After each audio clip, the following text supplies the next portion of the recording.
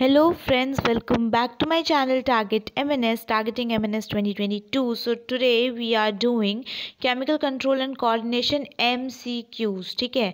क्योंकि मैंने first part आपको प्रोवाइड किया था, उस पर उतना अच्छा रिस्पांस नहीं आया। The chapters which I am explaining okay explanation पर उतना अच्छा व्यूज़ नहीं आ रहा है बट एम प्रोवाइड करो तो उस पर व्यूज़ आ रहा है। सो अकॉर्डिंग टू मी मुझे ऐसा लगता है कि आपको एम ज़्यादा से ज़्यादा चाहिए।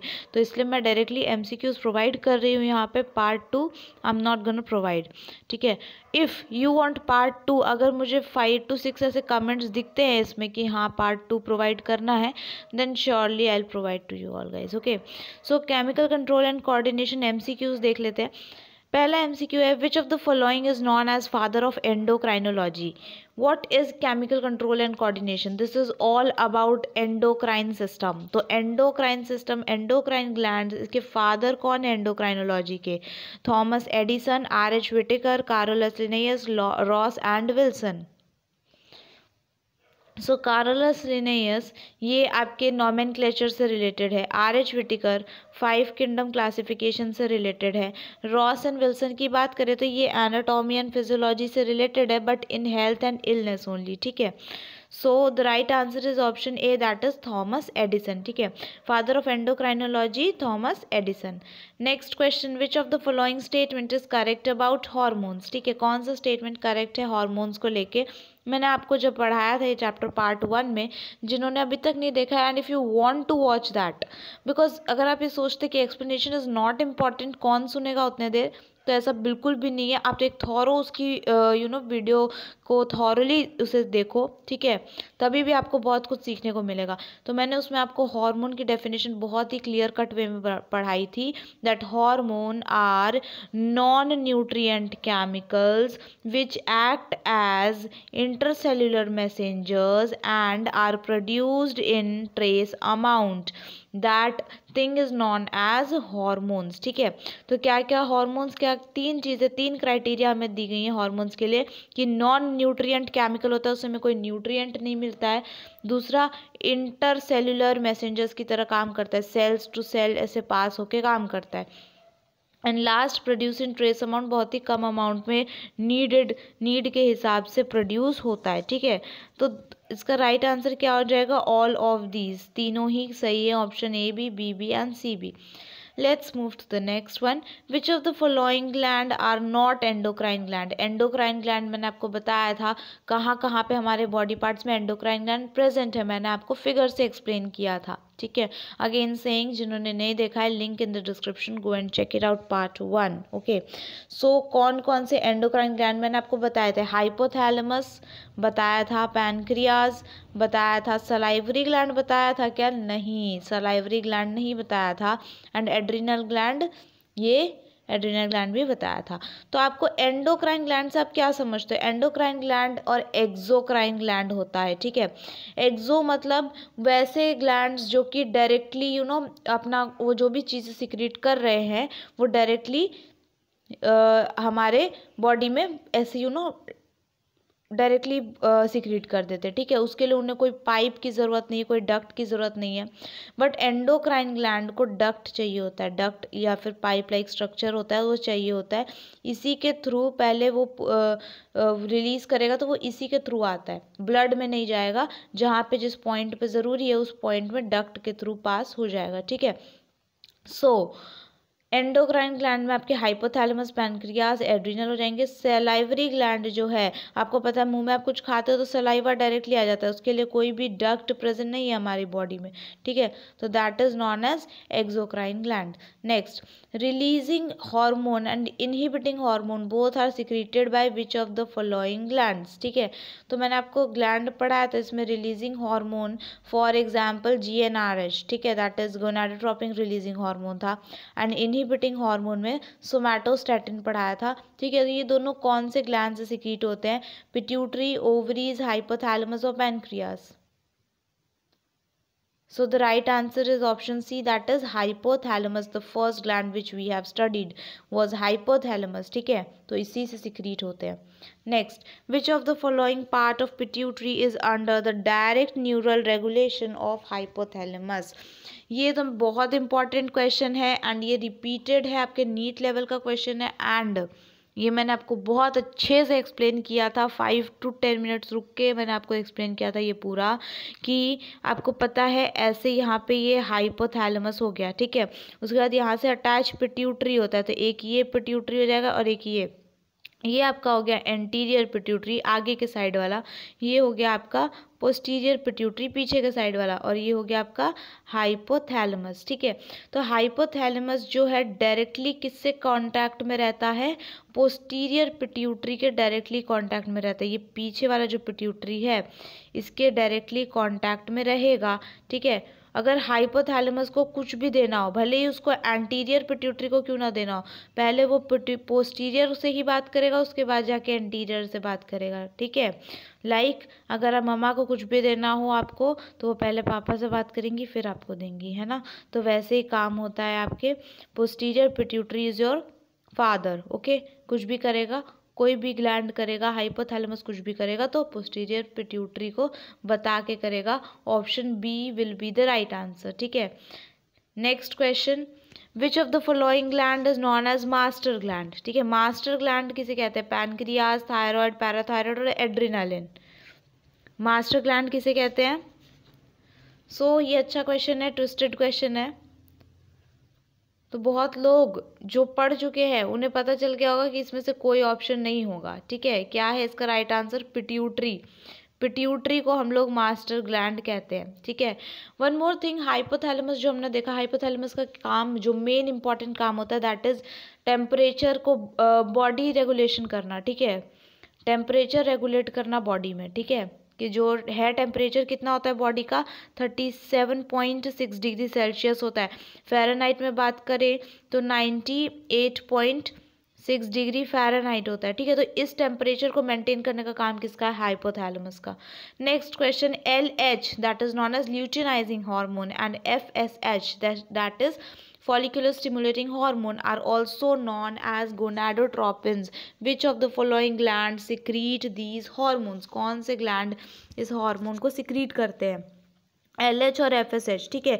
ये गोनाड्स के लिए होते हैं। लाइक ओवरीज टेस्टिस इन सब के लिए होते हैं female reproductive and male reproductive system के लिए। तो ऐसे हॉर्मोन्स को हम लोग गोनाडोट्रोपिन्स बोलते हैं। तो गोनाडोट्रोपिन्स कौन से पिट्यूटरी का कौन सा पार्ट अगर हम पूछे तो सिक्रीट करता है that is adeno hypophysis neuro hypophysis pituitary gland और pars intermedia so the right answer is adeno hypophysis adeno hypophysis को आप एक और किस नाम से जानते हो?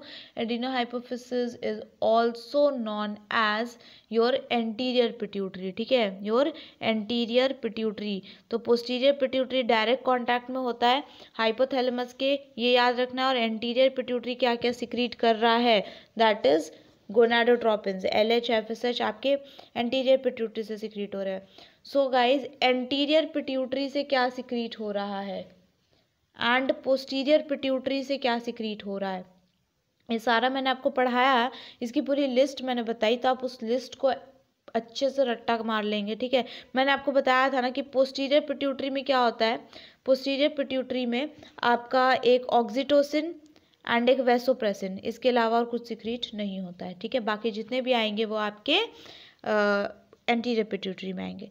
Next question which of the following hormone is known as anti diuretic hormone so anti diuretic hormone किसे कहा जाता है? एंटी डायोरेटिक का शॉर्ट फॉर्म भी होता है ए डी एच ठीक है?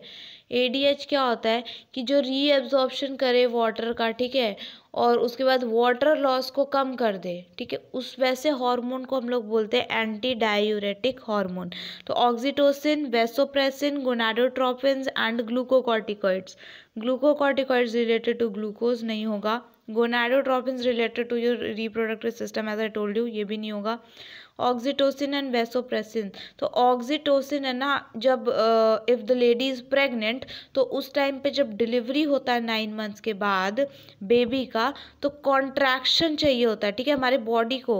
यूट्रस को बहुत ज़्यादा कॉन्ट्रैक्शन की ज़रूरत होती है तो उस टाइम पे आपका ऑक्सीटोसिन हार्मोन रिलीज़ होता है for the help of contraction तो राइट आंसर आपका क्या हो जाएगा? वेसोप्रेसिन ठीक है?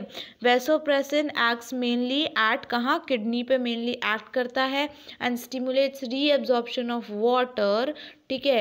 Hence reduce loss of water that is known as anti diuretic hormone also ठीक है? ए डी एच ठीक है? Next question by which of the following endocrine gland melatonin hormone is secreted? Melatonin hormone कौन से gland के द्वारा secrete किया जाता है? एंडोक्राइन ग्लैंड तो ऑप्शंस देख लीजिए और आपको वैसे ही पता चल जाएगा लेक्राइमल ग्लैंड ये तो आपका एक्जोक्राइन ग्लैंड है एंडोक्राइन ही नहीं है। अब बचे आपके तीन ऑप्शंस ठीक है? सो पैराथायरॉयड हार्मोन जो है, वो thyroid hormone T three and T four के ऑपोजिट काम करता है, ये भी नहीं होगा। ठीक है? ना पिट्यूटरी एंड पीनियल पिट्यूटरी में आपने देखा पिट्यूटरी में एंटीरियर एंड पोस्टीरियर एंटीरियर में आ, बाकी सारे ग्लैंड्स हॉर्मोन्स आते हैं। पोस्टीरियर में आपका सिर्फ़ ऑक्सीटोसिन एंड वेसोप्रेसिन आता है। Pituitary will also not be the answer the right answer is pineal gland melatonin का काम क्या होता है? कि पिगमेंटेशन को देखना। मिलेटोनिन मतलब आपकी स्किन कितनी गोरी है, आप कितने गोरे हो, कितने फेयर हो, ये किस पे डिपेंड करता है? मिलाटोनिन पे करता है, ठीक है? स्लीप वेक साइकिल आपको पता है, अगर आपको आदत है कि आप दस बजे सो जाते हो, ठीक है?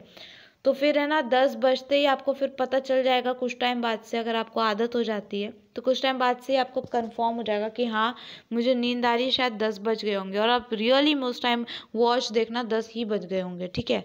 तो ऐसा होता है, हमारे ना माइंड को आदत हो जाती है हैबिट हो जाती है किसी चीज़ की because of pineal gland next which of the following hormone acts opposite to the thyrocalcitonin hormone to maintain the calcium balance in the body एक हार्मोन होता है थायरोकैल्सिटोनिन ठीक है?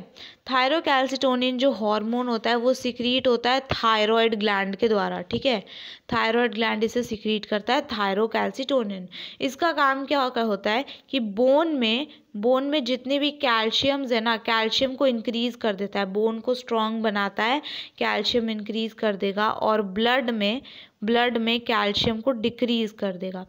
बट एक ऐसा हार्मोन होता है जो एक्ट्स ऑपोजिट इसके ऑपोजिट काम करता है, ताकि वो कैल्शियम बैलेंस को मेंटेन कर सके। अब सिर्फ़ बोन्स में कैल्शियम लेवल बढ़ते जाएगा और ब्लड में कम होते जाएगा तो इसके वजह से भी बहुत सारी डिज़ीज़ हो सकती है ना? बोन्स में इतना ज़्यादा कैल्शियम हो जाएगा तो वो डिज़ीज़ हो जाएगी। ब्लड में बिल्कुल भी कैल्शियम नहीं होगा, ठीक है? तो डेफिशिएंसी हो जाएगी। तो इसके लिए दूसरा एक हार्मोन जैसे कि थायराइड ग्लैंड था तो उसका ऑपोजिट क्या हो जाएगा? पैराथायराइड हार्मोन होता है, जो कि हाइपर कैल्सिमिक होता है। इसकी क्या करता है? ब्लड में कैल्शियम लेवल इंक्रीज करता है और बोन्स में, आपके बोन्स में कैल्शियम लेवल डिक्रीज करता है।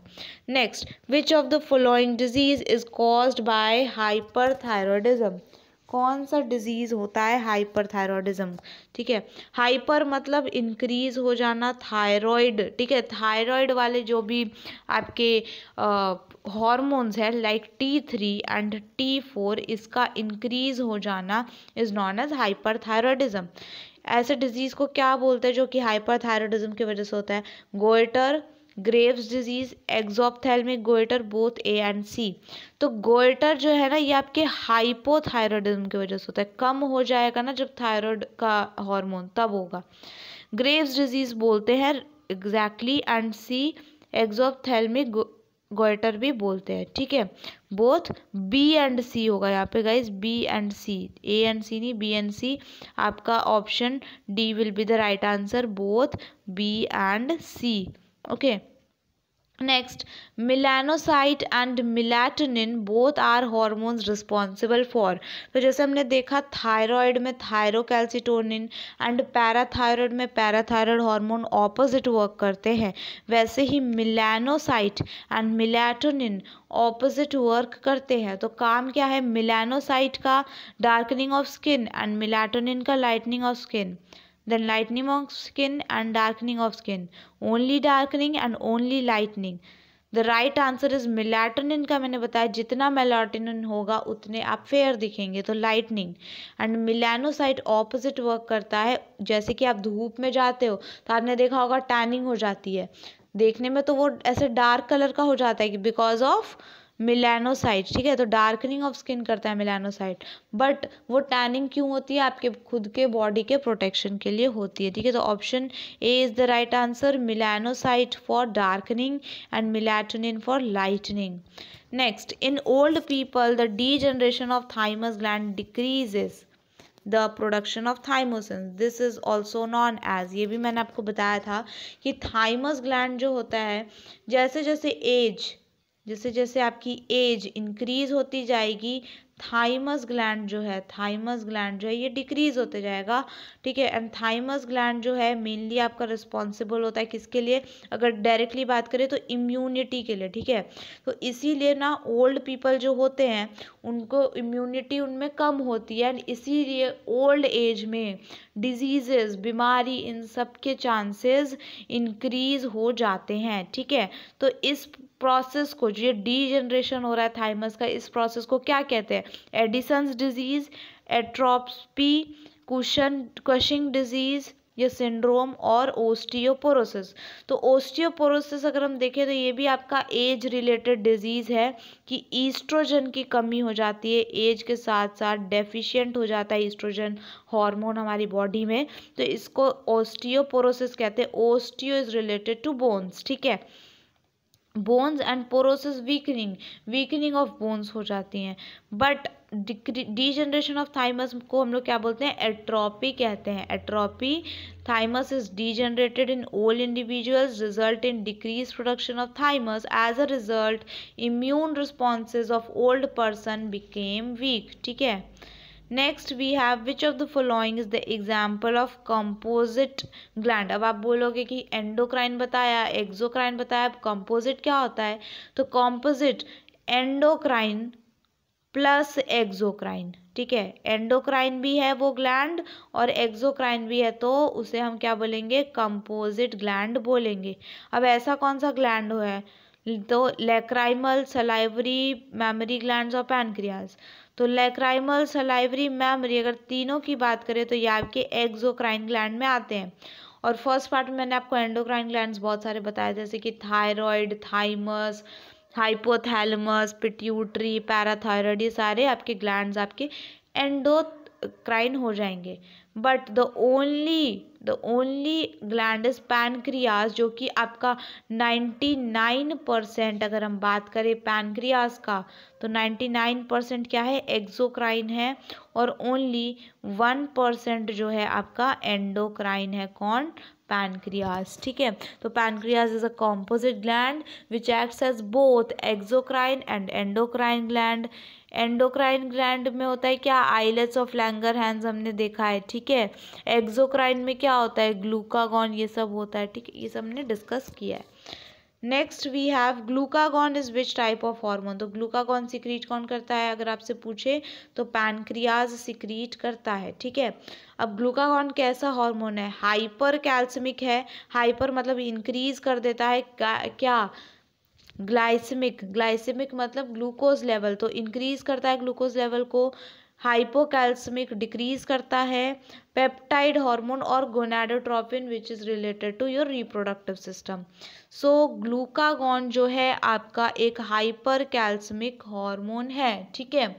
This hormone stimulates the process of gluconeogenesis which contributes to hyperglycemia.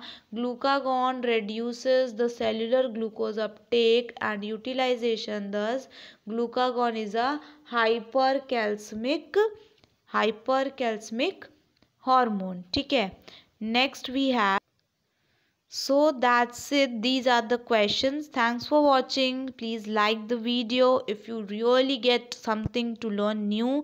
And if you are new to this channel share to the channel with the friends. And also subscribe to my channel for such an amazing videos. Keep supporting.